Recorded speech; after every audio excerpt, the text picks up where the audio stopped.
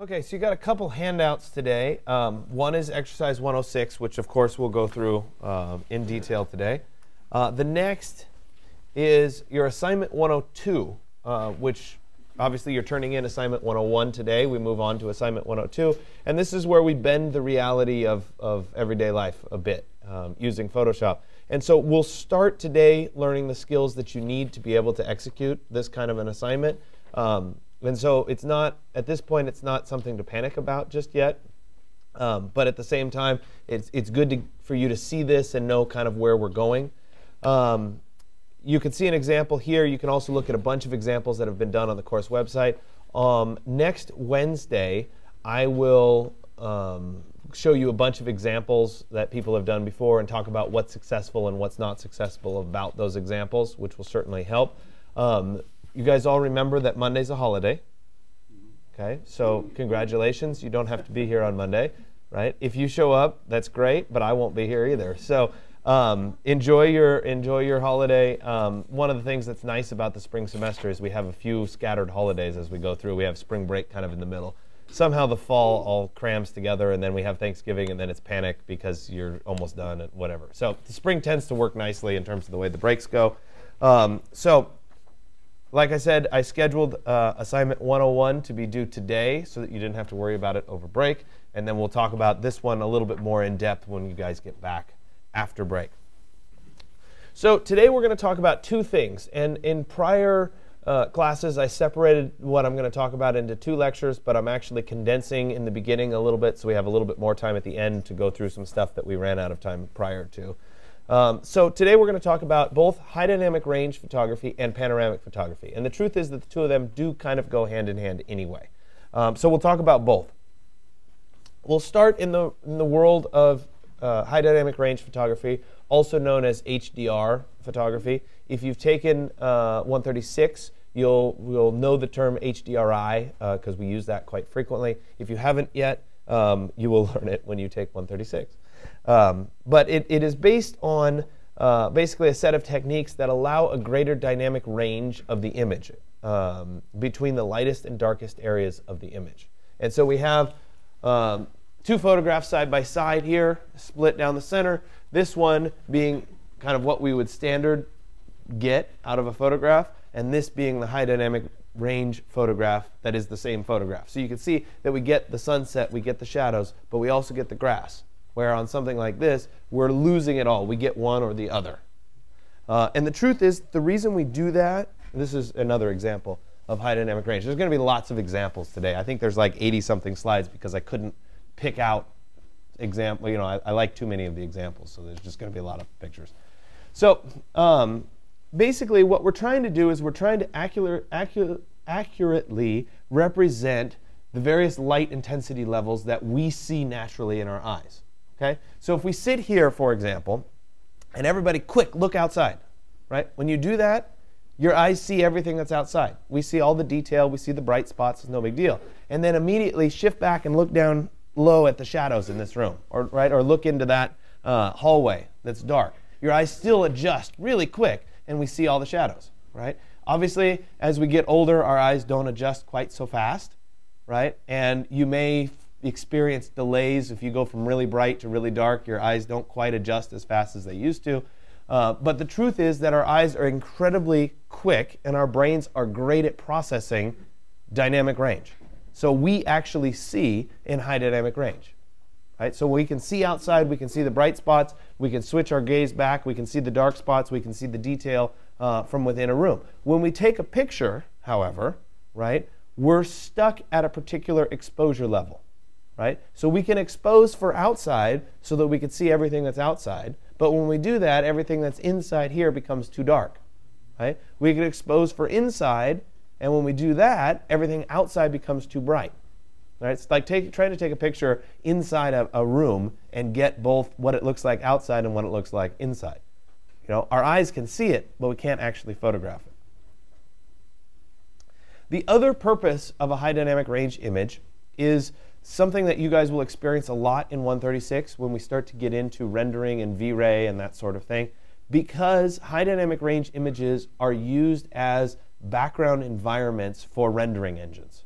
And so if we if we take V-Ray and Rhino for the example, I know you guys aren't in that class just yet, but you will be. Uh, well, a couple of you are in that class. But when you experience this, what happens is when you do a rendering, you have control over how the scene is exposed, what shutter speed, right? As if you were taking a picture with a camera. Well, the computer and the rendering engine needs to be able to predict what the background looks like based on whatever your camera settings are. So our backgrounds are actually high dynamic range images that will adjust depending on what our settings are. Um, so it's a very powerful use of this um, type of photography that you will end up in uh, using quite a bit as we go forward.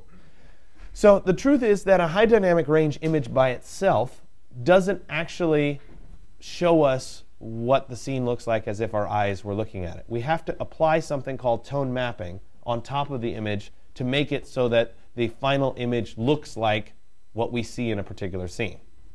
Uh, and so what this does is it reduces the overall contrast to facilitate a display of the high dynamic range, right, within a lower dynamic range device. That could be your monitor, it could be a print, um, it could be the projector, right? All of those aren't capable of, of showing us high dynamic range, so we need to somehow strip down this complicated image into something that we can see, right? It can produce images that look the way the scene looked. It can also produce images that are far beyond what the scene looked like. They can get more into the artistic realm than anything else. So what it does is it reduces the dynamic range or contrast ratio of the entire image while retaining localized contrast. So what we're doing is we're selectively adjusting certain parts of the image. So if we look in the shadows, we're adjusting the shadows so that within the shadow we can see light and dark. And if we look at the highlights, we're adjusting the highlights so we can see light and dark. So we're taking each region of the image and adjusting it differently, as opposed to applying programmatic changes to the whole image right? So it's small scale adjustments. So we have two primary software choices to do this. Uh, the first software choice, no, no, no surprise, is Photoshop, right? And so in order to do this, we're going to take a, fuse, a fusion of three images. I asked you to try to do this on your own images. If you don't, I have sample images that you'll be able to play with today um, to, to make sure that you can do this. We're going to take three images so that we have uh, information in the shadows, information that is correctly exposed, and information uh, that is overexposed. And we're going to combine those together using an automated Photoshop action. It's called merge to HDR. And it's going to take those three images and make one image out of them. Right? Then we're going to perform some post-processing to get desired results. And we're going to use something called masking to help facilitate how this works. And masking is something we're going to use a lot in this class going forward. Unfortunately, there's no kind of automated option for this tone mapping process. We'll have to manually do the tone mapping, uh, which is good because you learn a lot in the process, but it's not as easy as one click and, have it look good. Uh, it is, of course, available on the lab computers or uh, on your home computers. The other software product is called Photomatix, and it's considered to be the gold standard of tone mapping almost all the images that I show you that are high dynamic range images were done in Photomatix. Um, it's kind of the, the high end level. If you're going to do this work, this is what you're going to use. Um, it has plugins that work on top of Photoshop. Uh, it has plugins that work on top of uh, you know Lightroom, or or it also has its own standalone open the photos in that application and process. Right? It's very very good at tone mapping such that um, you basically click a few boxes and it makes your image look great, right? But you have to pay for it. So there's a trade-off. So let's look at some of the realistic examples and talk about why they might be relevant uh, in the world of architecture. So I have two, two images here, right? Um, I actually don't know what city this is in, uh, but it's an, it's an open floor, right? If you were trying to sell this space to somebody, right, and you went up to the space and you took a photograph, chances are your photograph would look like the top photograph, right? Where you can have you can see everything that's going on inside, but everything that's outside, the view and everything gets washed out, right? This is very normal, right? A high dynamic range version doesn't change much in the image, but it does allow us to see what's going on inside, right? Notice that we can actually see a little bit better of what's going on in the shadows than we can at the top but it also allows us to see what's happening outside the windows. Right? It allows us to see what's, what's going on in the broader context, what's the view. So if you were trying to sell this, right, the high dynamic range image would be a far better choice, right, to try to showcase that um, information, right? Maybe it's uh, you're taking a photograph of a building that's at night. You're trying to get good uh, color rendering uh, uh of, of what's going on, what the materials look and feel like, but at the same time you want to show all of the individual lights on, right? A high dynamic range is a good way of doing that because you can fuse the two uh, scenes together. Maybe it might be as simple as a basic landscape scene. Okay? This looks an awful lot like a normal photo. Okay? But if it wasn't high dynamic range, things that were happening in these bushes and down in these shadows would be completely black. We wouldn't have that detail. So a little bit of high dynamic range applied to this image enhances what we can see and what we can perceive about this particular image. Right? Another example here of kind of the, the dusk scene right? Architects love photographing at this time because you get all of the color and everything uh, of what the building looks like, but you also get all the lights lit up because we like lighting too. So it's this good combination. But if you try to go and, and take this photograph, it's a lot harder than it looks because you either expose for the lights, in which case the sky and the colors get washed out or, or too dark, right? Or you expose for the sky and the colors and you can't really see the lights.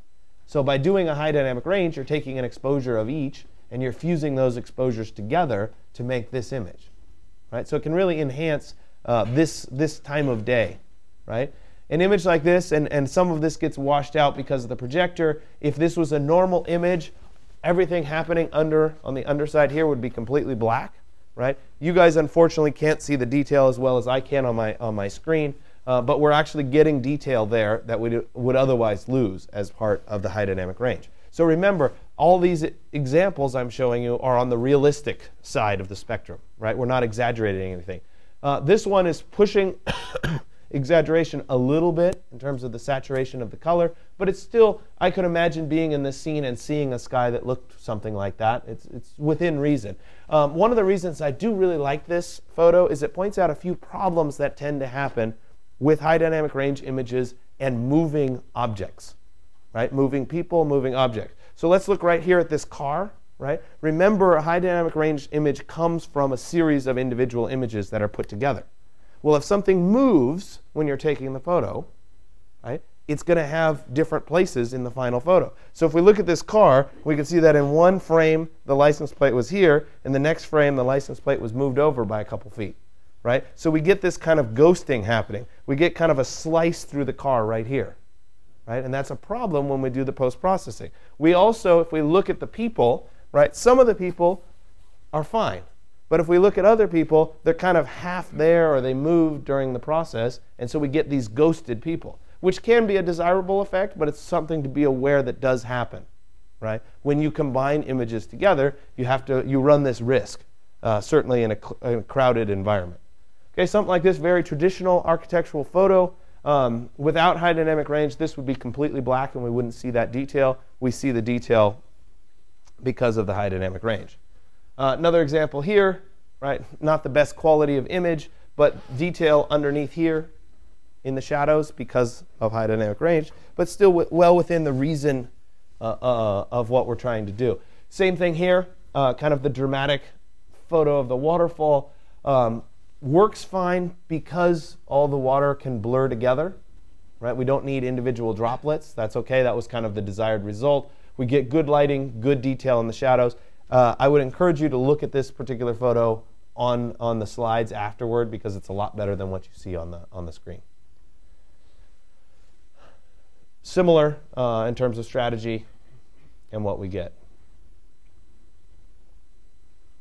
Right, likewise. Like I said, I have a hard time culling out. I'm going to show you too many examples.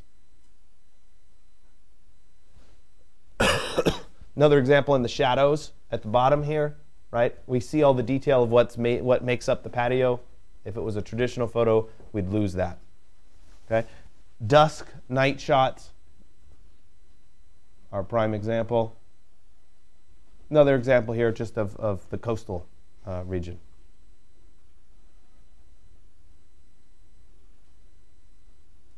Right? Some California sunsets. These are ones that I've taken. Um, trying to capture what the sunset actually looked like, right? We talked about this earlier uh, in the class where we had, um, I asked you if you had ever tried to take a picture of a sunset and it didn't look the way you thought it was, right? This is how we can approximate what's happening.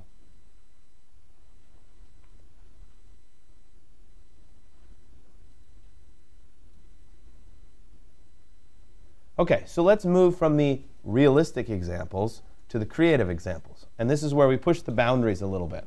Okay? So, San Francisco, right?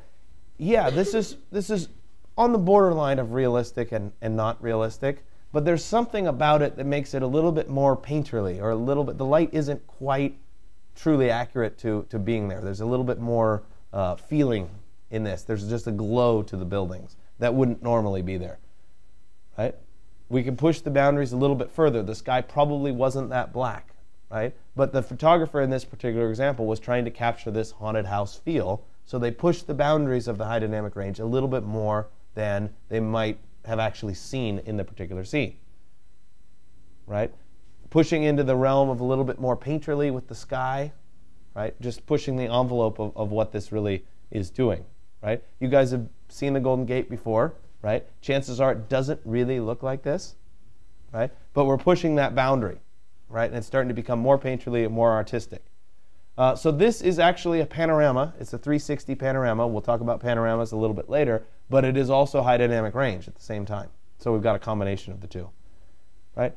Uh, the, the blue saturation is a little bit too much in this particular image, but well, it's still reasonably in the realm. Right? This one's definitely pushing too, too far beyond. The scene didn't really look like this. Right? Again, way too much of the, the mood coming across. Um, and so it's probably pushed beyond, beyond reason. Similar here. Right? Clouds are just a little bit too dark. Right? A little bit too much yellow. Yeah, that could probably fall into the reason reasonable category.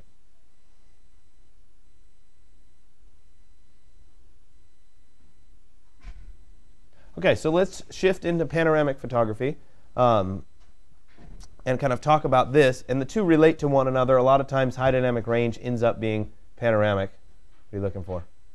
Yeah. Thank you. So, a panorama is any wide angle view or representation of a scene. Okay? And in the old days, you guys won't even remember this. I don't even know why I bothered to tell you this. There, there was this special camera that came out in between kind of the, the film, the traditional film camera and the, the digital camera. And it was like this, this little point and shoot that you could like convert and it would shoot panoramas instead. And you could get like long skinny prints. Uh, it was kind of cool at the time. Anyway, I'm probably dating myself. But the point is that it's a wider than normal field of view. And we now, when we carry our phones around, have the ability to take panoramas relatively easy in our phone. You guys have probably done this before, right? You start and you kind of swing the camera and it takes the, the long picture, okay? A 360 panorama is a full 360 degree view of a particular scene. So we start at one point, we go all the way around, and we come back to the same point. So, what panoramic photography generally involves is it involves stitching multiple images together right? When we look at our phones and we swing the camera through, our phones are just dynamically stitching the images together. It's a bunch of individuals that are being stitched together. Um, we can do this kind of compositing by just taking a bunch of images and then combining them together, right? Or we can be a little bit more controlled or a little bit more um, careful about how we take the series of images. Depending on the lens in your camera, uh, depending on um, you know a variety of settings, it may take 100 pictures to make a panorama. If we were doing a full 360, it might take 12, right? It may take three, depending on what kind of lens you have. And so that's going to vary. The general concept is the camera is in the center, and there's a bunch of pictures that wrap around that represent this scene, right? So let's talk a little bit about the mechanics. And one of the things that's a, that's a telltale problem, I'm actually going to skip ahead three sides, and we'll come back. One of the, the telltale problems of panoramic images or stitching images together are things like this, right? Where we have some power lines and all of a sudden they don't line up quite right, right? Or maybe, you know, there's little, you've got a line that goes across the edge of the pool and, and they don't quite line up. These kinds of things are extraordinarily common, right? Here's a building right? Where we have part of the curve of the building doesn't quite match that curve, right? You've probably seen this happen before. What, what's happening here is something called parallax. And it has to do with how you're actually shooting the picture. And by our nature, right, if I was going to take a panoramic image, uh, image, certainly with my phone, I'd start in one place and I'd swing around and I'd take all my pictures. Right? But the truth is that isn't isolating what's called the nodal point of the camera. Right? The nodal point is a point in the lens where the light that comes in actually inverts and goes upside down. Right? It happens in every lens. It's the same way you guys know in our eyes, right? When we see the images are actually upside down when they hit our retinas and our brains are smart enough to, to flip it over. There was a study done where somebody wore glasses. You may have heard of this, right? And it, it had mirrors in it and it flipped the, the scene upside down. And it took a person, I think, 24 hours and their brain corrected it and started seeing everything correctly again.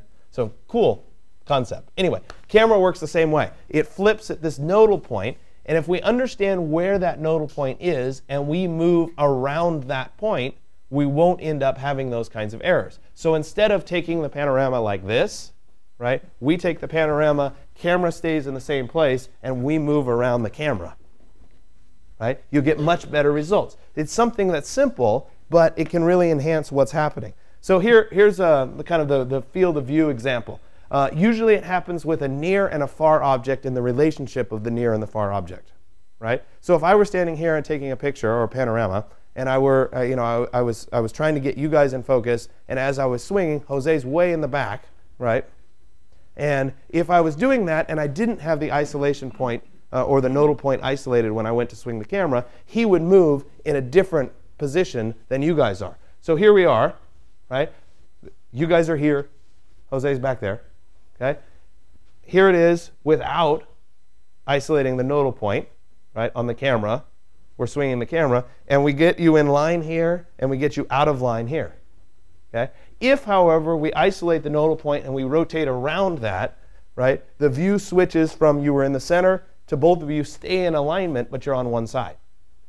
Okay? So it's critical to kind of isolate that point, especially with the larger, fancier um, panoramas. So we end up with a final result, and we generally end up with two things. One can be an unrolled image, which is a processed image where we take all of these pictures that make up a, a sphere, right, and we flatten them out and we stretch them and we lay them flat, right? It's kind of like if you had a, um, you know, a map of, or a globe and you peeled it off and kind of laid it flat, okay? Same concept. Or we can have a virtual reality movie, which I'm sure you've seen as well, right, that are interactive that let you choose what to look at in a particular scene. So two different ways of looking at it, uh, both of which are available uh, to you as an end result. So a couple different software packages let us do this. The first is, of course, Photoshop. Right? I wouldn't tell you all this stuff if Photoshop didn't do it.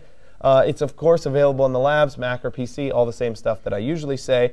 It's really, really good at small groups of images right? You could throw maybe 10 images at it, it'll do a great job, okay? If you throw 50 images at it, not so good, okay? The other thing is it loves doing like about 180 degrees. It doesn't like 360. So 180 works pretty well, right? When you start th throwing 360 at it, it gets very confused as to where the end is and where the start is. So it's not the best for really large format, completely unrolled 360 in both directions panoramas. Uh, Stitcher was an Autodesk product. Uh, actually, it was an independent product first, and then Autodesk bought them. And it was great because you'd take your images and you'd drop them into this kind of interactive interface and you'd just kind of move the image where you thought it would go and you'd hit enter and it would like tweak and align and warp the image and it would fit in place. It was awesome software. So Autodesk bought them and the last time they updated it was in 2009. Oops right? It's kind of sad because if the, the company had remained independent, we'd probably have a really good viable stitching option that's out there. Um, so that's what happens. PT GUI is uh, a really, really good, sophisticated program, uh, kind of the next level of sophistication. It's what a lot of people who do this um, for a living or as a, as a side hobby end up using. Um, you can do manual or automated picking of control points so you can go in and say, this point in this image is that point in that image. and it will help warp and align the images correctly, or it will go through and actually detect similar points in the various images. Um, it has great output options. It's built on an open source platform, but it's the graphic interface for that open source platform. Tends to be well developed, uh, Mac or PC. I've stitched a lot of panoramas in PTGUI in my time. Hugin is um, another option built on the same open source software that PTGUI was built on. Uh, the difference is that this is free and open source, so you guys can all go home and download it and play around with it. Uh, it is available on these computers. I'm not going to make you do it today unless you feel like you want to try it out. Um, but I like to point out that it's available. And if, if panoramic stuff is something that's very interesting to you, um, by all means, you know, open it up and play around with it because it's a really powerful piece of software and it does great results. Um, like I said, it's built on the same thing as PTGUI. It's significantly slower at doing the processing than PTGUI is. Um, so it, there are trade-offs for the fact that it's free, but the results can be very, very good. Uh, I have stitched many successful images with it. Um, there's another app written by Google. It's called Photosphere. Some of you may have it built into your phone. Some of you may have to download it, uh, but it's free. Um, it's really good at stitching panoramas together kind of on the fly with your phone. It does a great job. Um, it's Google's trying to use it in conjunction with their Street View kind of thing uh, as a way of kind of mapping the world and getting more individual perspectives of where certain things are.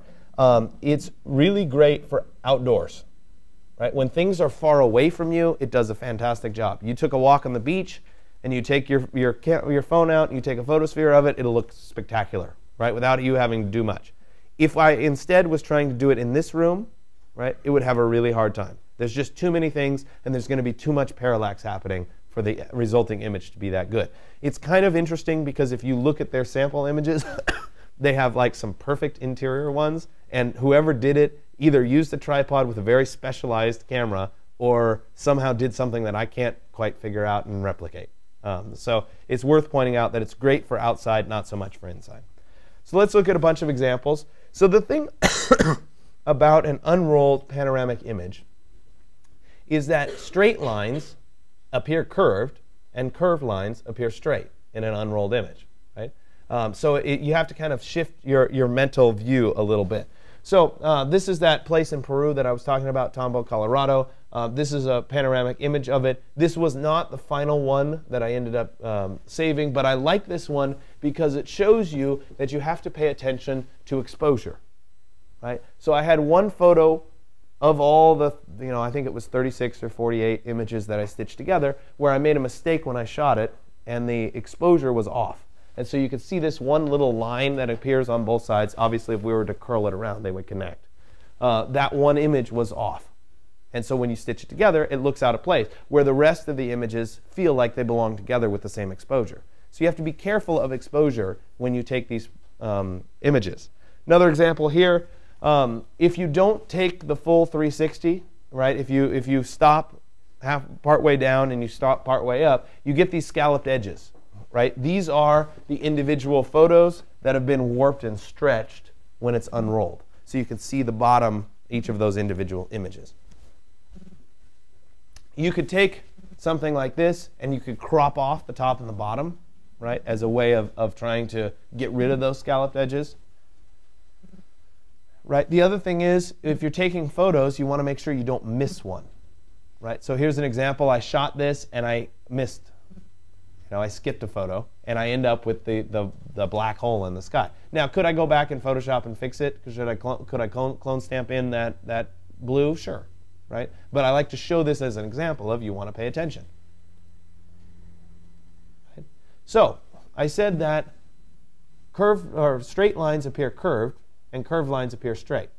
Okay, so here's a mental challenge for you, right? What does this look like? Right? Exactly. So this is the very center of the circles at Moray okay, which was an Incan development where they did crop experiments, and as you descend, each level has a different temperature. It's actually pretty cool. But anyway, so this this last photo, whoops, one forward, right, was taken right at the center of these circles. So every one of these perfect circles, right, when it's unrolled, becomes a straight line, right? The other thing we played around with when we were there is each you could see that there's people standing at each of the points as we go around. So this was our self-portrait on the trip, um, but it's kind of fun. Another example here. Um, you, this is actually one of the ones that I'll, I'll give you as a sample to play around with um, in terms of images. It will stitch to a full 360.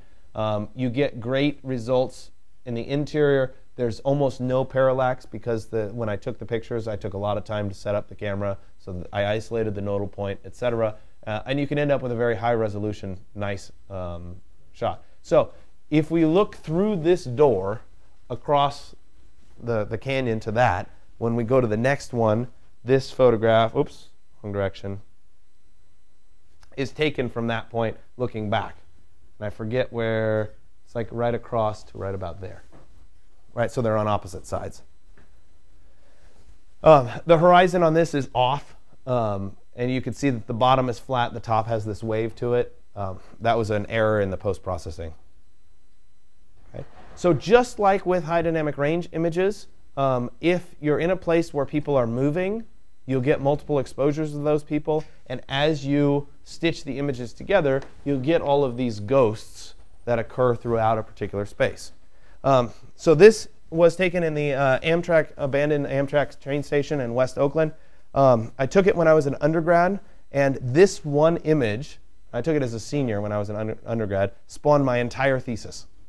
It was all based on this one image.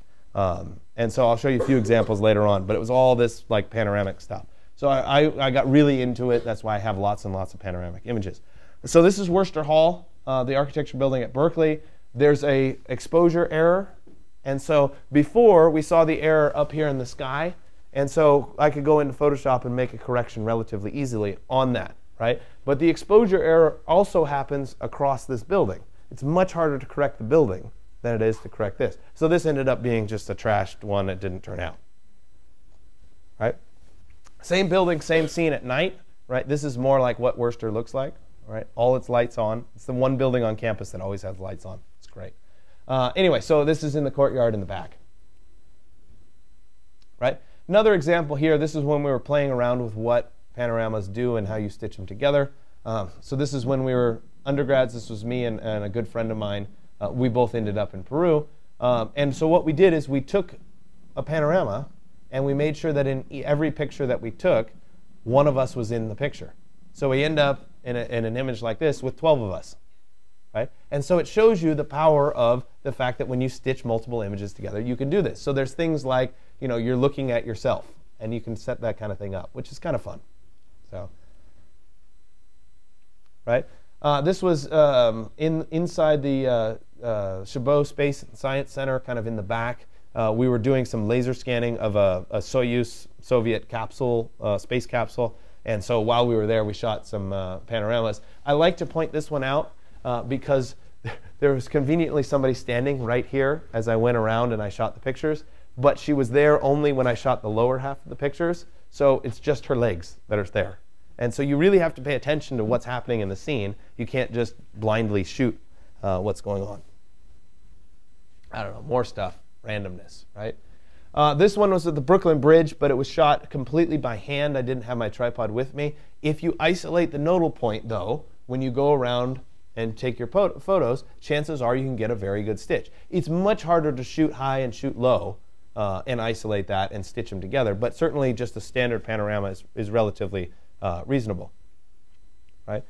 Uh, another example here, this is out in Alameda uh, on the Naval Air Station base. Right, beach.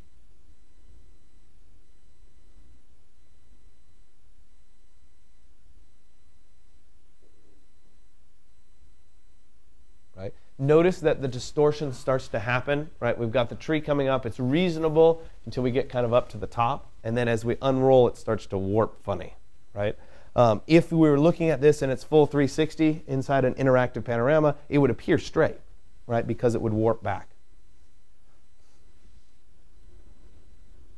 You can tell I like hiking, right? I think this is one of the ones that I included as a sample for you guys to play around with. Right? You can get creative about how these things come together. You know, a little bit more on the artistic side. It Just has to do with how the outputs happen. Uh, so these are a bunch of images um, from my thesis. These were all of the San Francisco airport. Um, and so if you've been there, you, you kind of recognize these sorts of things. Airports are very generic, and that was part of the reason that I needed an airport as part of my thesis. But there's, of course, lots and lots of panoramas of airports. So then it evolved into doing these drawings and these interconnectedness of spaces and whatever. It ended up doing constructed panoramas where you took architecture and then I would draw these panoramas from the architectural drawings. So the plans and the sections would become these um, spherical perspectives and whatever. Uh, and so this was one of the final drawings that had the standard spherical perspective, and then it had a bunch of side perspectives that were going off of it. So you can see the layered complexity of this kind of a drawing that went in as part of the thesis. Anyway, it's been a long time since I did that. I barely remember what I even wrote. okay, so we're going to switch over.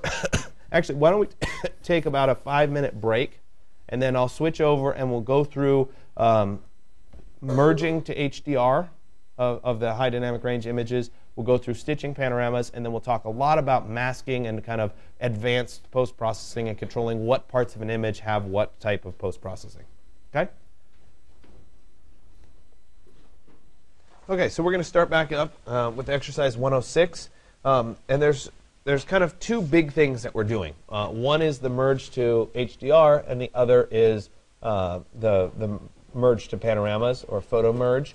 And so we're going to do both of those operations, and then I'll go back and show you the masking. And so if we actually followed along with the way I wrote this, I tell you to do the, the HDR, and then masking, and then panorama, and then masking. But I think it's easier to explain if I do both of the, the two automated processes kind of side by side, and then we'll go into the masking. Um, so on the uh, course website today, if you go to today's exercise at the bottom, there are downloadable files for both the high dynamic range and the um, uh, panoramic images. Um, and you, so if you don't feel like yours are working particularly well or you want to use some of the samples that I have, uh, they're down here at the bottom. Obviously, I haven't logged in yet, but uh, you can see that. I also have examples of the finished panoramas. Let's see if it'll actually load.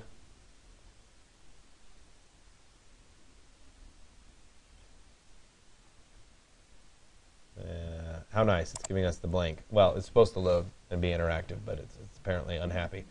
Um, so anyway, they're, they're there so that you can to, to work on that. And then uh, obviously all the steps are, are isolated here. So what we're going to do is we're going to start with the high dynamic range. We're going to follow this Photoshop 1.8.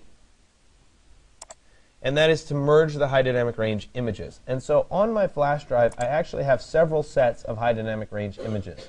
And uh, let me show these. Oops as extra large icons so we can kind of see what they look like here. So this first set, which is a sunset, right? I have the dark scene that kind of exposes the sky. I have the mid-range scene that, that shows the water pretty well. And I have the light scene that shows the kind of the highlights. Okay? So I have three images, one, two, and three, that would work. Uh, the next set of samples are up from the top of half dome. I have a dark, a medium, and a light. So essentially the same thing. This last set, which you've seen the image before, I've worked with that as a sample. I have the correctly exposed and then a dark image and a light image. Okay? So those are the samples that I'm going to work with. I'm going to show you the process right here. I'm going to go to the File menu, and I'm going to go to Automate. So I'm not actually going to open the files yet. I'm just going to go to File and then Automate. And right down here at the bottom, I have two options. One is Merge to HDR. Right? That's what we're going to do first. And then the second one, when we do the panorama, will be photo merge. They're right next to each other. So I'll click on Merge to HDR Pro. And when I do that, it's going to say, tell me where the files are. So I'll go ahead and click Browse. And I'm going to go into my folder here for 106. And I'll pick the first three images. All right, so there's three. I held down Shift and I clicked on the next two to be able to select them all at once. And then I'll go ahead and say OK. And it'll show me the three files. And notice at the bottom it, there's a checkbox for attempt to automatically align source images. So in an ideal world when you're shooting a high dynamic range image, you would shoot on a tripod or with your camera sitting on something so that all three of the exposures are in the exact same spot. Uh, in my particular camera, um, I can enable bracketing and it'll take three consecutive photos. So while they're not perfectly aligned because I don't have a tripod, it's taking three exposures, one, two, three. So they're pretty close and they tend to align really nicely. If it took you a little bit longer, right, this automatically aligned source images may or may not work. It's worth checking the box to, to try. Uh, and then we'll go ahead and say OK. And you'll see if you watch over here in the layers, there's a bunch of stuff kind of going on, right, as this is, is, is as this is happening. Okay? So then I get to the merge to HDR Pro option here. And so if we look here uh, under preset, right, there's a bunch of presets that have been preloaded, which can be really nice. So if I was doing a city at twilight, I might want to use that preset. Okay? Obviously, if I pick that right now, it doesn't look that great for the sunset. Okay? But I can come down here and I can look through some of the um, other examples. I can do photorealistic high contrast. I can do photorealistic low contrast. I can do photorealistic period. Right? I could come down here. I could go to saturated. Right? So we could kind of play a real play around surrealistic is kind of interesting right? And I can play around with what the, the default options are, right? I'm going to pick photorealistic because I think it's probably one of the better options. Yeah. Generally, it's three, five, or seven images, though you can feel free to use more, but it's generally an odd number because the middle image is the correctly exposed image. So you want the same number of overexposed and underexposed beyond that middle image. So it's going to be three, five, seven, or you know you can you can do the math, right? 9, 11, you know, we could keep going, right? But in the mo- for the most part, it's, it's usually going to be 3, right? So if I come down here, right, um, remove ghosts, right, would, would attempt to mask off um, moving objects if you had something that moved in a particular scene. It may or may not work well for you. You're welcome to try if you have an image that, that has something like that, right? And below that, we go to mode, and then I can choose 16-bit with a local adaptation, right? Uh, which seems to work out pretty well. This mode, if I did 32-bit, the end result wouldn't look very good. And we used to do, uh, in this class, we used to do a 32-bit and then convert down. The good news is this merge to HDR Pro has evolved in CS6, uh, so we can actually leave it, and it's going to create a 16-bit image, which is essentially what we can see on a computer screen, right? I do have the ability to make some adjustments, right? I have shadows, highlights, um, that this preset, if I went back to the photorealistic preset here, right, it sets all of these values. But feel free to actually adjust. Right? If I wanted less shadow or more, more shadow, you could see that just with this slider, I can control more shadow or less shadow, right, to what looks right to my eye. I can control a lighter sky or a darker sky. I can I can control the saturation level, right? Lots of color, or little color, depending.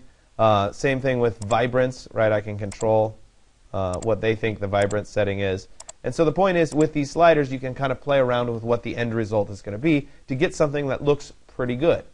Okay? So I'm going to go ahead and I'm going to go back to photorealistic, which seems to, to look pretty good to me. We could see my three exposures down here at the bottom, right? Uh, exposure value 0.00 exposure value of minus 1.85 and exposure value of plus 1.74 were the three pictures that I ended up taking. Right? So I'll go ahead and say OK. And it will continue to create this HDR file, which is right here. We'll give it a little bit more time. And there it is. Okay? So just like we get to this stage of the game, now I can go ahead and I can start doing post-processing. I'm going to skip the post-processing for a second and we'll come back to it. Okay? Uh, but I, because I want to I want to go through this automate option set again. So I'm going to go to File again, Automate, and I'm going to go to Merge to HDR Pro. I'm doing I'm repeating right now just so that you can see the process one more time. I'm going to go to Browse, and I'm going to pick three other images. Right, so I'll pick these three this time. This is from the top of Half Dome. I'll say OK, and it will start to bring those images together. There they are. And so once again, I can go through and I could say, you know, let's do photorealistic, right? I'm not really getting the contrast at the bottom here that I'd like. So let me play around with this. That's too much. Let me pull this down a little bit more, right? Something like that. And then I'll go ahead and say, OK, and it'll put these together. So there's the final image here. So you can see it's a relatively easy process. A few little sliders, a few presets, and we get a pretty good resulting image. Okay? Now, if I was going to stitch the panorama together, if I go to my flash drive, again, I have the folders for the panoramas already downloaded. These are the same three uh, samples that, that I put online for you to, you to be able to download. These will come down as a zip file that you'll have to extract because they're each rather large in the number of pictures. So here, for example, is the uh, Angora Peak file. And you can see that as I go through here and I look at it, right, I have a set of images that go straight around. There's 1, 2, 3, 4, 5, 6, 7, 8, 9, 10, 11, 12, and oh, I repeated one image. So there should be 12 total images there. Right? Then I, I shifted the camera high and I captured the, the sky, and I shift, shifted the camera low and I captured low. So this whole thing would make up almost a full 360 panorama. Okay? Uh, 360 definitely around in the horizontal direction, but not quite in the vertical direction. Okay? So anyway, um, when I'm using this in Photoshop, I'm not going to pick all of the, the pieces. I'm going to pick some samples uh, from this and stitch, you know, kind of a half of a view. And so when I go to File, Automate, Photo Merge, right, once again I'm going to pick my images, right? Generally under Layout, we leave it set to Auto, and then I'll go ahead and browse for my images. And I'm going to pick, let me come down here at the bottom, All right, I'm going to take this one, two, three, four. So the first four images there, the first four images of up high, and the first four images of down low. Okay? And I'll go ahead and say OK. Now, I deliberately picked just that kind of section so that you can see what happens. So uh, I'm going to attempt to blend images together. Vignetting is something that happens with some camera lenses where the edges of the frame are a little bit darker than the center. It can be a nice artistic effect, but obviously if we're stitching it together, we don't want the edges to be darker. Um, so vignette removal is optional. Um, and geometric distortion correction, again, is optional. If, if you feel like you have darker frames, then obviously check the box. Uh, if you feel like you have some weird distortions happening, that might help. Uh, I'm going to go ahead and go with it, so I'll say OK and it's going to start to process these images. And so this is another automated process, and you can see that it's loading all the images together, and then momentarily it's going to try to start to align the images together. And so we just, this is all Photoshop. And so we just have to be patient while it kind of works through this. The merge to HDR tends to be rather quick. The photo merge tends to take a little bit longer.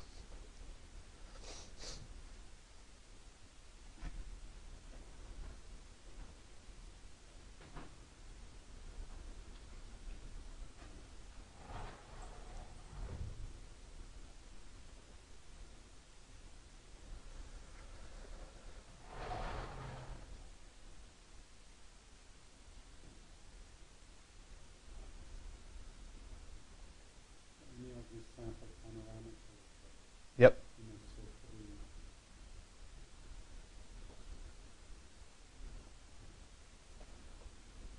So we can see that it's already starting to put these images together for me.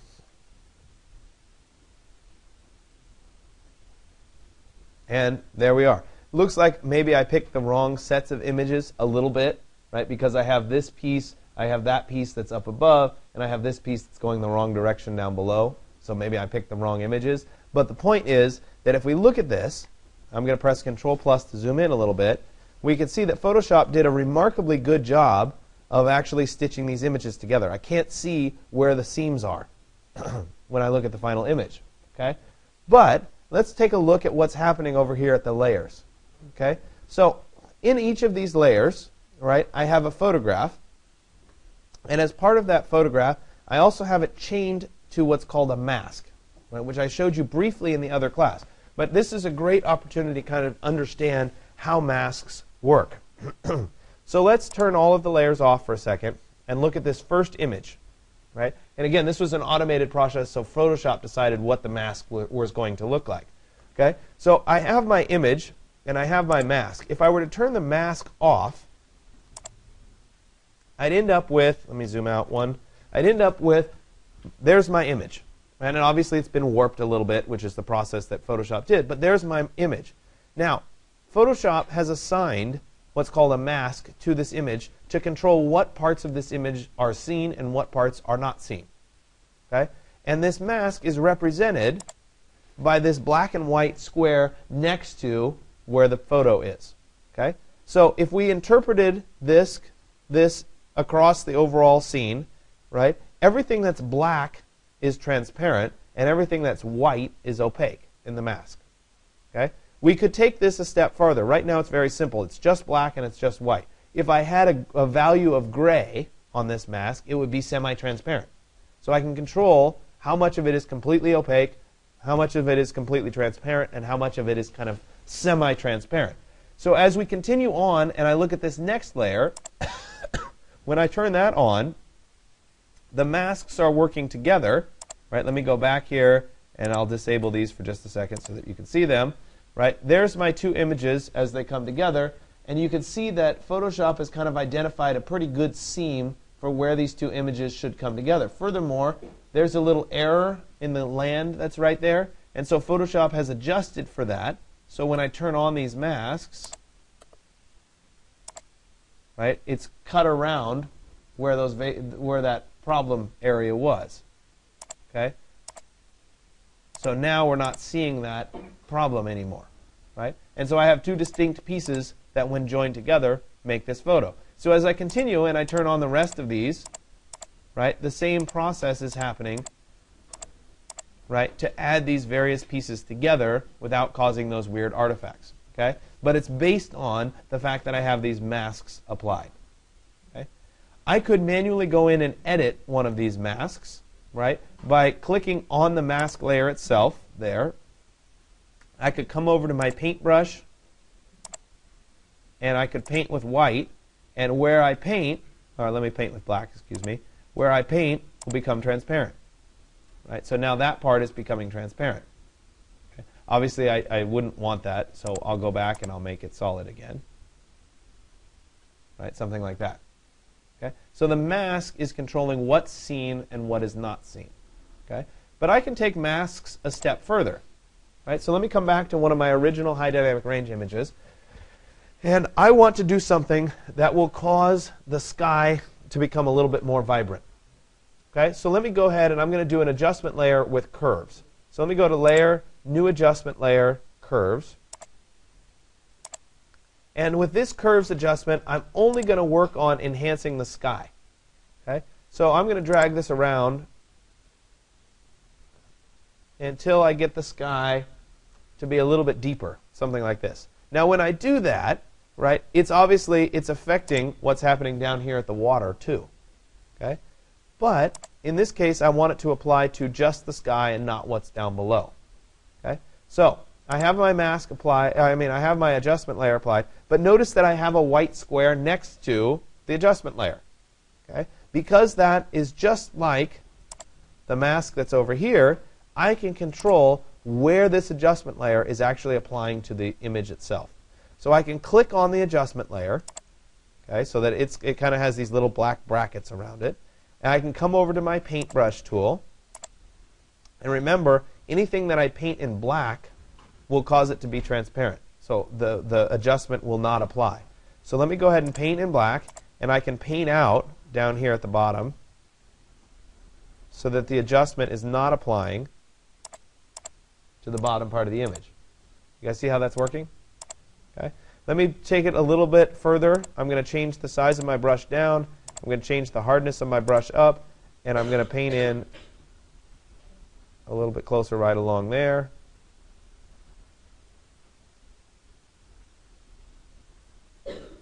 Maybe right along there.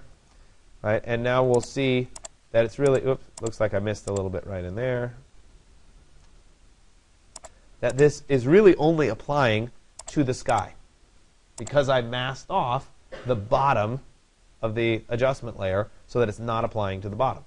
Okay? Now maybe I do I want to go back and I want that mountain to be a little bit darker, so I can come back with the white tool. So I just use that little double-sided arrow to flip from white to black. And once again, I'll go back and be on my mask.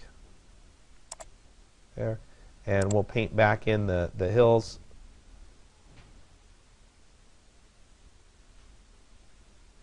Like that. Let me zoom in a little bit. Right, you can see, see that green halo that's happening? Right? That green halo is because my images aren't perfectly aligned. I'm going to make my brush a little bit smaller. And we'll kind of fill this in here. Smaller brush.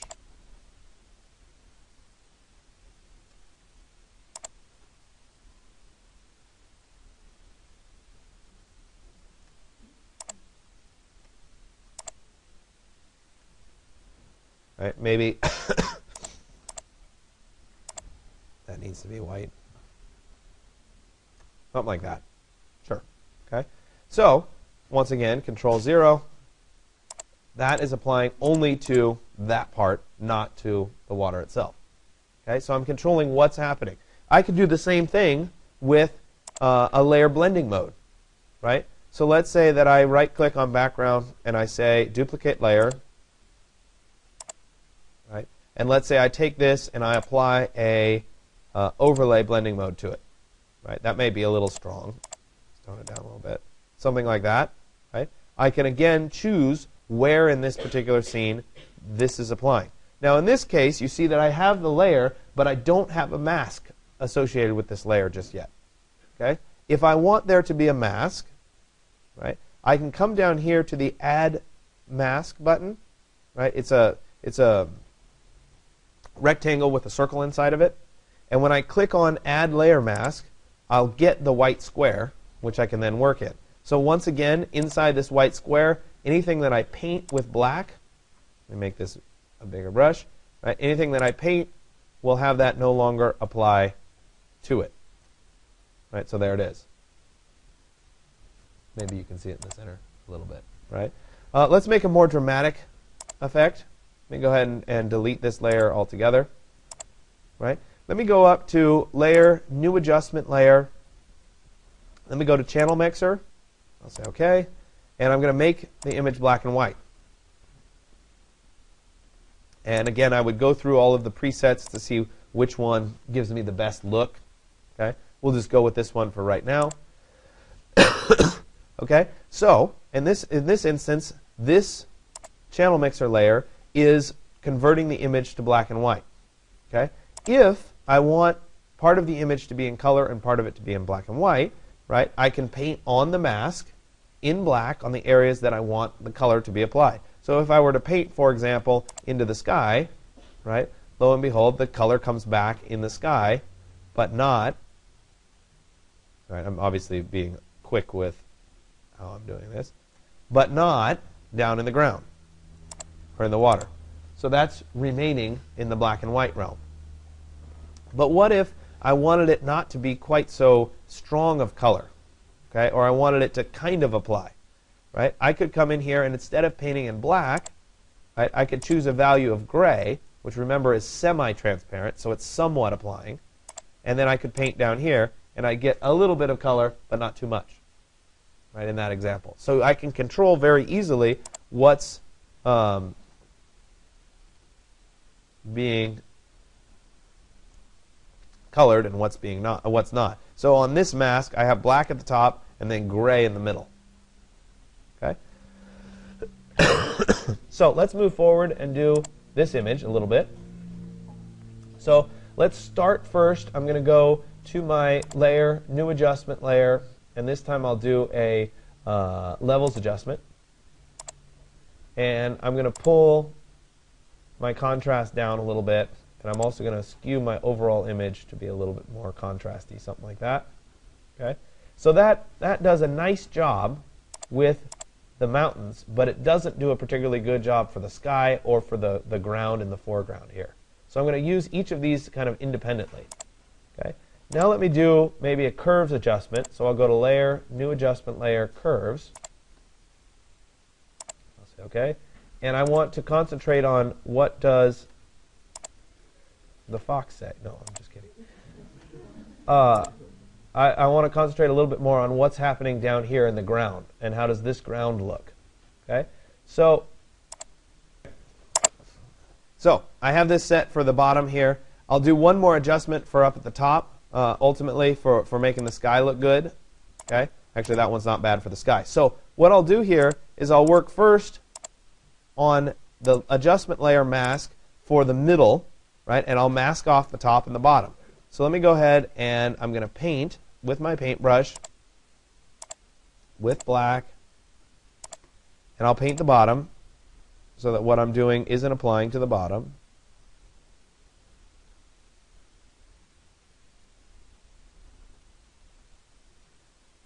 Whoops, that's on. That shouldn't have been included. Like that. Okay. And then I'll also paint up here at the top so that it's not applying up top there.